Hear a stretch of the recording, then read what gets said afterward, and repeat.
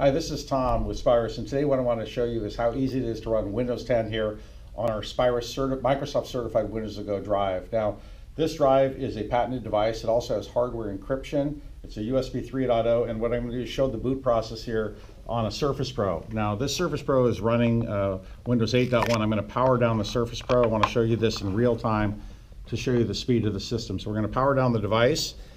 And what I'm going to do now in the USB slot, I'm going to uh, put in our uh, Windows to Go drive, uh, WorkSafe Pro, and I'm going to go ahead and reboot this. Now, in this process, on the boot, the only thing it's using on this computer is really the terminal, the screen, and the RAM, really, and we're booting off of the device. What comes up first is our uh, login screen. Now, this is an important part of the process. The login screen itself is protected in read only memory on the device. Uh, this protects against malware and really ensures a safe boot. It asks me to authenticate myself to this device, so I'm going to go ahead and put in my password right now. And this password also is an important part of the process because the password is never exposed in the software. It's protected in our Rosetta microsecurity chip. And when I put in that, it will authenticate me and return back an encryption key.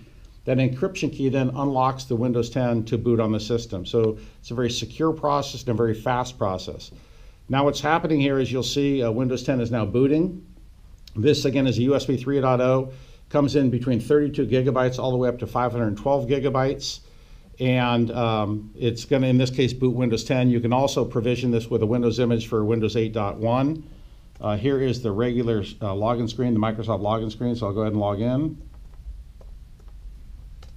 And that's really all there is to it. So it's a very fast process. It works again, on this case, it's booting off Windows 8.1. You could also boot off of Windows 8, Windows 7, Windows XP, and even on Macs. So it's a phenomenal solution for providing the integrity of your Windows image uh, to contractors, to temporary employees, anyone really on the go. It'll add a lot of security, it'll save a lot of money in the process as well.